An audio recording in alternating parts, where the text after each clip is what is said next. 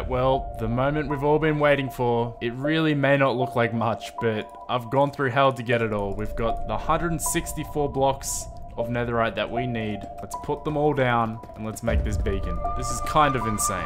This is just simply insanity. Oh no, it's just right. Four layers, all of netherite blocks, just so we can power one simple beacon.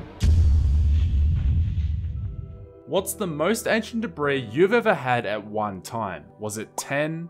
Maybe 36, which would be enough to upgrade every piece of armor and tool. Maybe you even had a stack of 64 at one point.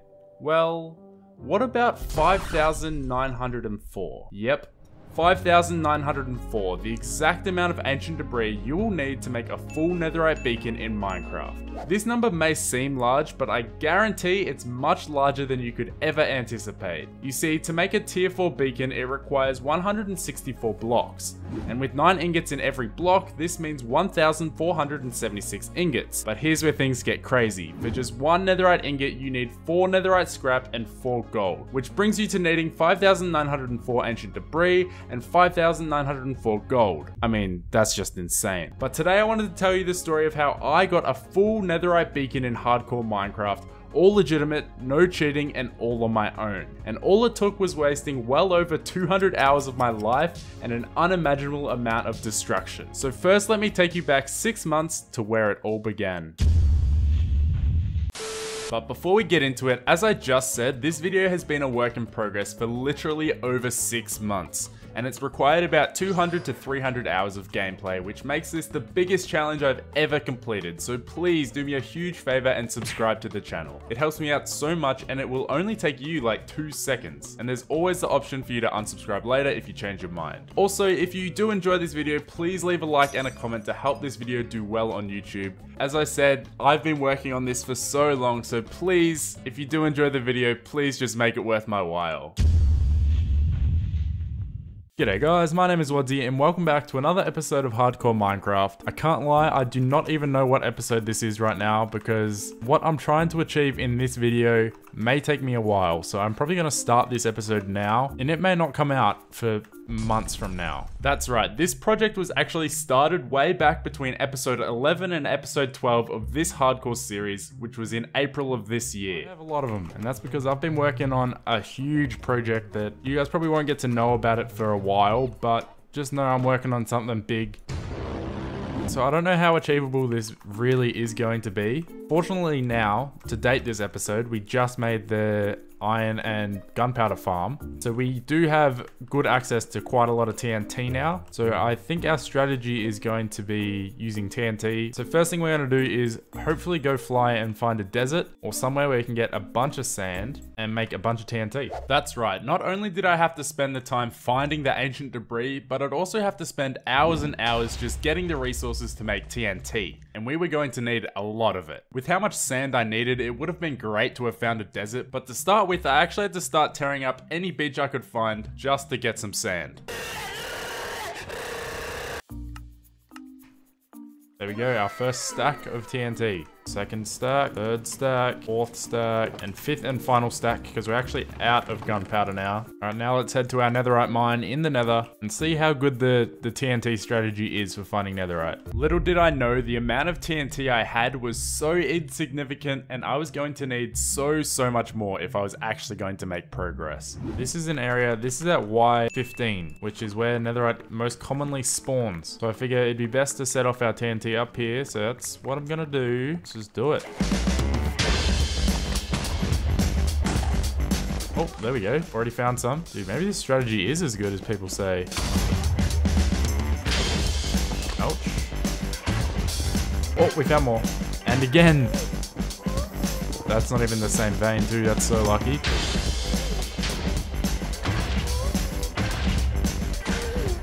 Oh, wow. That, we're on 8 now. Oh, yes. We found some more.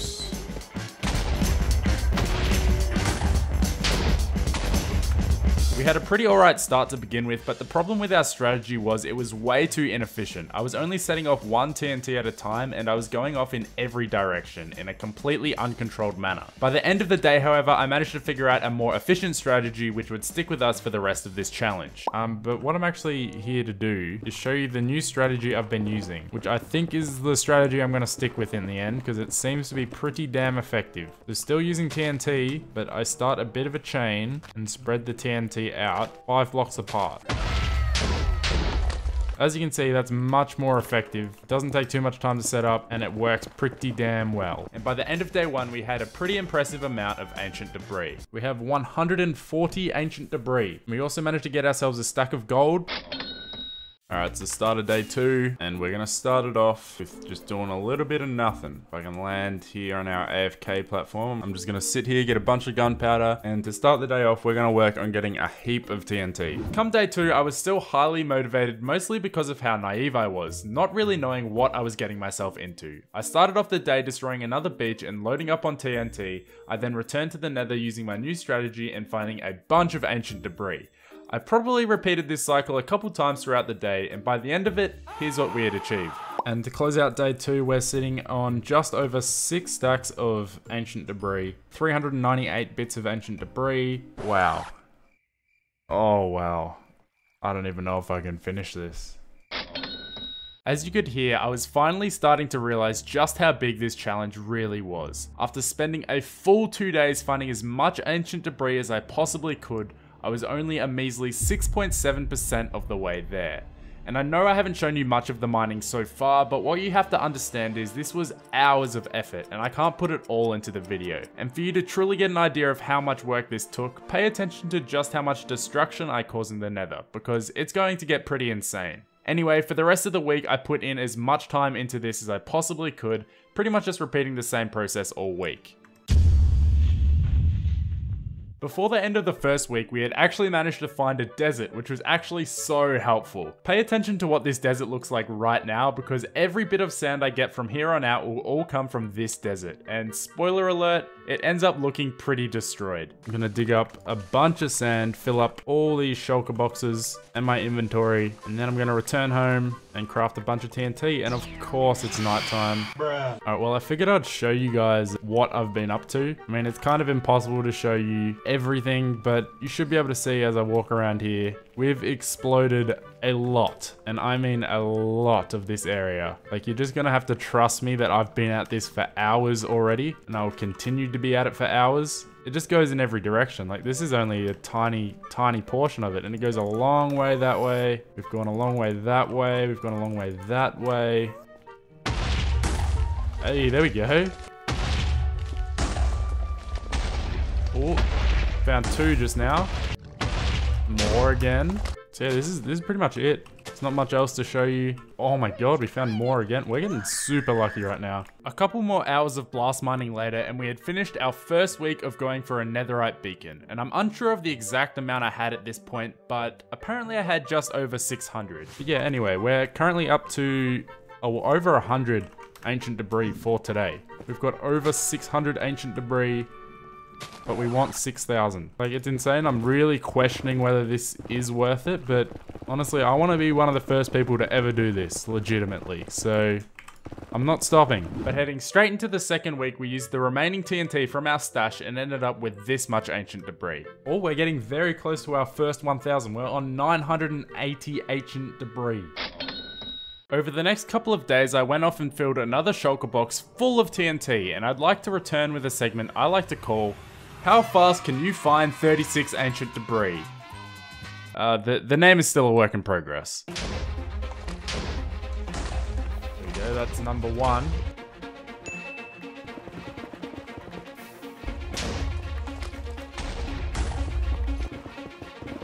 Oh, there we go. Hello. Number two, number three. Almost missed this one. Okay, number four. Oh, and another little hidden one. Number five. We're almost averaging one a minute. We can pick this up. I'm going pretty slow at the moment. Six. Well. Oh, what the hell? And number nine. 10, 11. We're doing awesome. 12, 13. as I'm saying that, we find two more. Three more, actually. A vein of three. Dude, what is going on? 18, 19, that's 20. My luck, bro. Alright, there we go. 25, 26. Nice. Another of three. Last five. Alright, 34. Two more and we are done. Oh, hello. One. One more. We're looking for one more, and we've just successfully got another block of netherite. There it is. And now that concludes this segment of How fast can you find 36 ancient debris? We got a time of 31 minutes and 51 seconds, which is pretty fast. Now if you want to do the math, 36 ancient debris is how much you need for one block of netherite, and if it took us exactly this long for every 36 we found, it means it would only take us 87 hours to finish the whole beacon. Now unfortunately you don't always get this lucky, and there's still the time to AFK for gunpowder and make TNT that you need to take into account, so we still had many many hours ahead of us. Alright, I've gone through all the TNT I had, and this is our brand new total. We're getting so close to filling our first shulker box. Okay, and our grand total at the moment is 1,511 ancient debris. Well, interesting enough, we've actually discovered our first basalt deltas biome, but this is a huge problem right now, because as I'm about to demonstrate... Boom! TNT is a lot less effective in basalt, so I'm gonna have to avoid this biome. This was my first time mining ancient debris in week 3, and I'd already managed to get 100 for today, but the real good news was I also had a lot more TNT.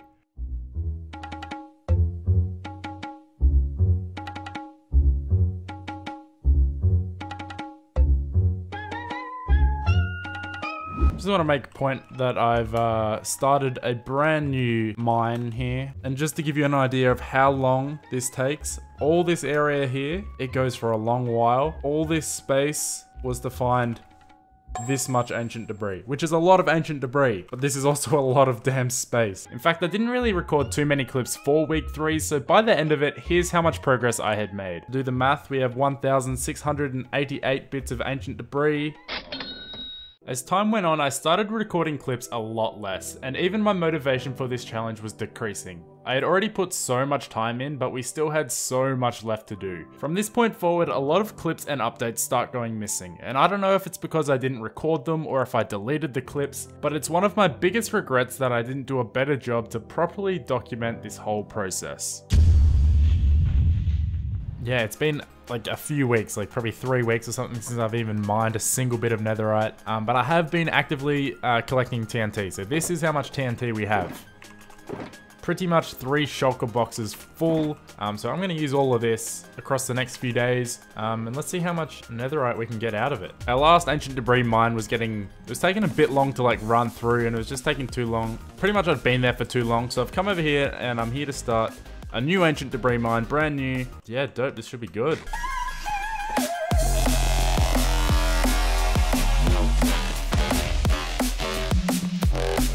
Finally, our first bit of ancient debris.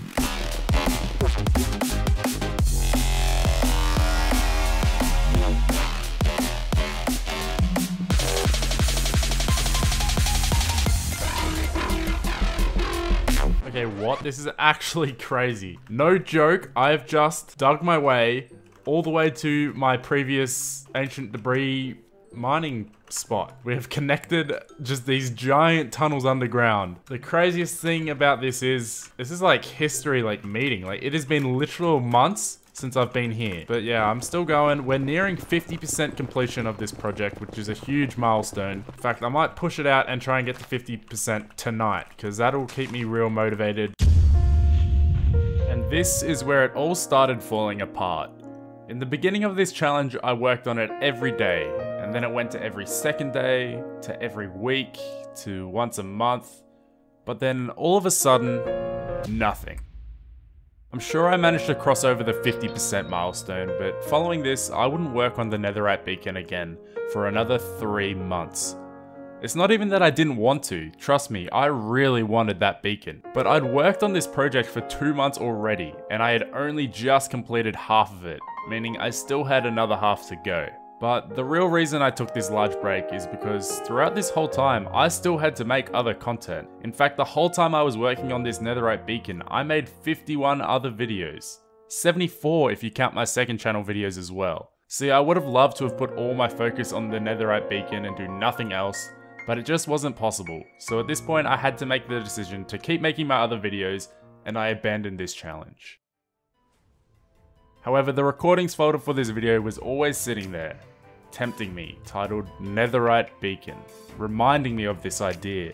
And three months later, I returned, more motivated than ever, and we were going to finish this beacon. Alright, I can't lie, I cannot remember the last time I was working on this project. Feels like it was probably, I mean, months ago. It's been a while. It's been a long while, but I'm back. Firstly, picking up sand so I can make a whole new batch of TNT, and then we'll get back to mining for ancient debris. So after filling my entire inventory with sand and making nearly two shulker boxes full of TNT, I got right back into it. And across the week, I used up my entire stash of TNT, leaving us with this much ancient debris. We have reached yet another milestone. We've filled up another shulker box. This is our second shulker box full of ancient debris. Heading into the next week, I wanted to go bigger and better, so I started off by collecting over 3 shulker boxes full of TNT, and I found by collecting this much TNT to begin with, it would really help me make progress, as I could go for 10 hours straight some days without stopping. This week was definitely the turning point in this challenge, and it's where I started believing I'd actually get it done. There were multiple days in this week where I did nothing but mine ancient debris for the whole day, and it paid off because only one week later we had managed to complete an additional 20% of the project. Alright, I am less than 10 away from hitting the milestone of 4,000 ancient debris.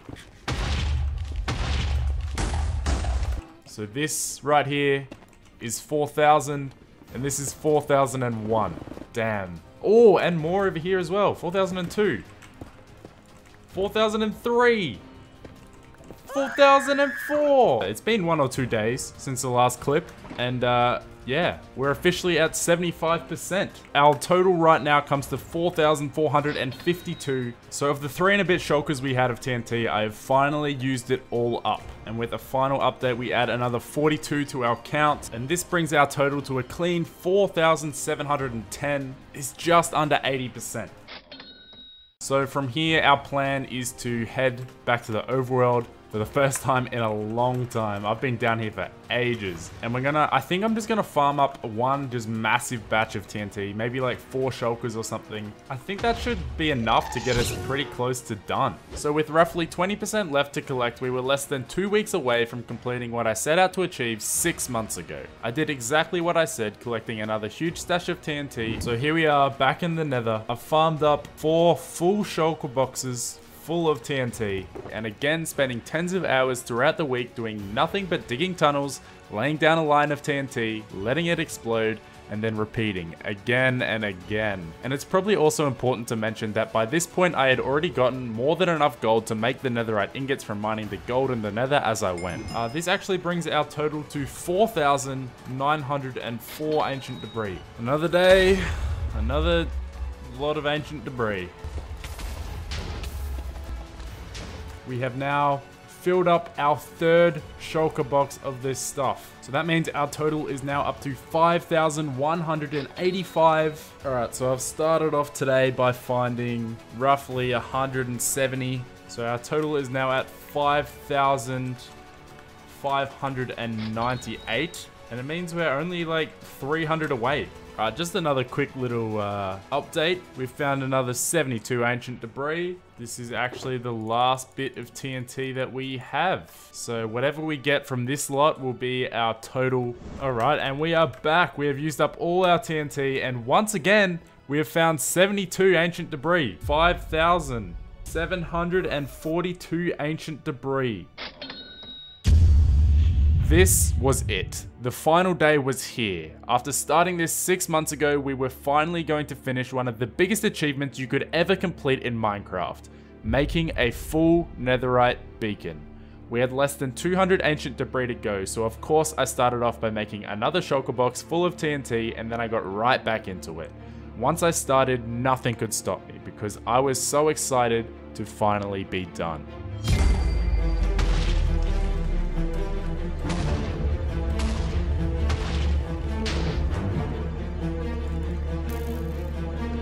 Just under 100 to go. We're still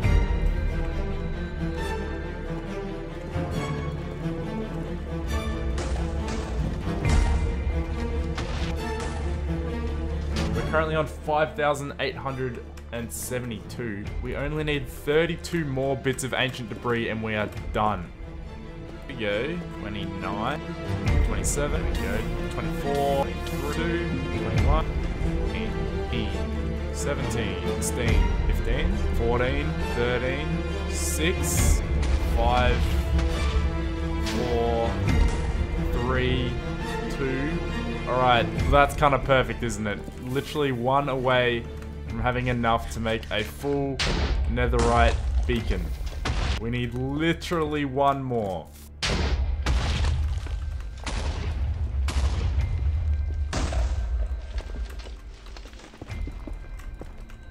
Really not to be it? Just one. there it is! This could be perfect. This could literally be perfect. That's it. With that piece there, we now have our grand total of 5,904 ancient debris. But we weren't done just yet. We still had the task of making the beacon, and besides smelting and crafting all our ancient debris into blocks of netherite, there were still a couple of other things we had to do as well. Alright, so just quickly, if we're going to be making a netherite beacon, we're going to have to kill another wither.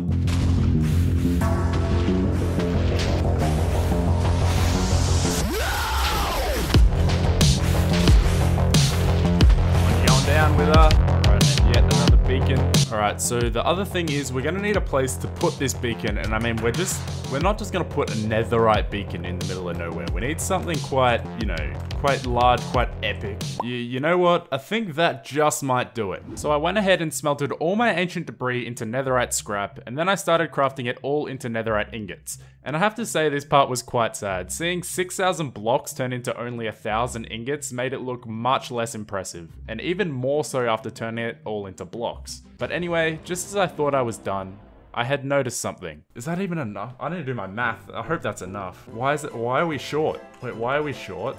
No. No, I thought I had enough. Alright, I don't know where I've gone wrong because I swear I did the calculations like a hundred times over, but we are seven blocks short. So in conclusion, I need to go back to mining ancient debris. Oh my god, I can't believe I'm back here right now. Okay, so 252 of my ancient debris went missing, and yes, I was very mad, but the feeling of being done was too good to let this delay me any further, so I stayed up all night and within the next 24 hours we had discovered another 251 ancient debris. Oh, bingo. Alright, that should be it if my math is correct. And once again, we were done. Funnily enough, this actually brought my total to 6,160. I mean, I'm watching it and it hasn't gone anywhere yet, so I think we're in the clear. Alright, well that is just straight up a stack of netherite into seven blocks, exactly what we needed. Oh, we also have the ingot left over. Alright, well, the moment we've all been waiting for. It really may not look like much, but I've gone through hell to get it all. We've got the 164 blocks of netherite that we need. Let's put them all down. This is kind of insane. This is just simply insanity. Do I have enough? The math right on this? Have I built this too big? Oh no, it's just right. Four layers, all of netherite blocks, just so we can power one simple beacon. And just as an added flex, we need to power it with the netherite ingot. It's done. We've actually done it. Why why have I done why have I done this? Why why have I done this? And that's the story of how I got a full netherite beacon in hardcore Minecraft. All it took was many hours of leaving my computer on overnight to generate more gunpowder, plenty of time digging up this entire desert, leaving it looking like this, and there were actually three different locations I used to mine for ancient debris in the nether, and they are all ridiculously huge. The amount of destruction this took is actually unbelievable. Look, I know a lot of people are probably skeptical right now that I did this all legitimately without cheating, and I understand that because I showed barely any of the process in this video, but I hope just the sheer amount of destruction not only in the nether, but also in the overworld is proof enough that I made every piece of TNT legit, and I mined every piece of ancient debris without cheating. But hey, if you still don't believe me, there's a video linked in the description where I just run around my ancient debris mines completely unedited so you can see just how big they were, and just how much effort it took to get 5,904 ancient debris legitimately. This has been the most insane thing I've ever tried to accomplish in Minecraft, and I'd just like to thank you all so much for watching. If you did watch this far, please don't forget to leave a like on this video to help it in the YouTube algorithm, and also subscribe. It helps me out so much and I really appreciate it. And as always, remember to drink water. Cheers. Hey, if you enjoyed this video, maybe you'll also enjoy this video on screen right now, where me and my friend went head to head to see who could find the most ancient debris in just one hour. I think it's a pretty cool video, so click it. Click it right now. Oh, and also subscribe. Okay, that's all. See you next time.